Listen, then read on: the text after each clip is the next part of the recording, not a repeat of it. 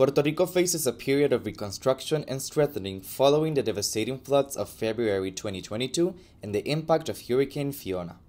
In response to these challenges, the Puerto Rico Department of Housing has been allocated crucial funds of around 166 millions by the United States Department of Housing and Urban Development.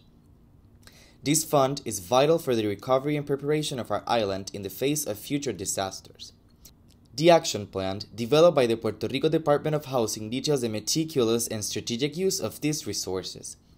The objective is twofold to recover effectively from recent damage and to strengthen ourselves in the face of possible future adversities. A significant portion of the funds will be used to improve vital infrastructure. This includes reconstruction projects in severely affected areas with a special focus on flood and landslide management and control. Low impact development practices and green solutions will be implemented to strengthen our infrastructure with more resilient and sustainable technologies. In addition, the funds will facilitate the creation of community resilience centers, which will be essential for providing critical support and services during future disasters, thus increasing the social resilience and responsiveness of our communities. The plan also contemplates collaboration with various subrecipients, ensuring efficient and effective implementation of each project.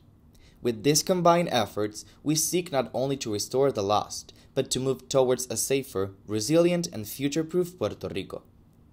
The funds allocated are therefore a cornerstone on our way to recovery and a more promising future for our island.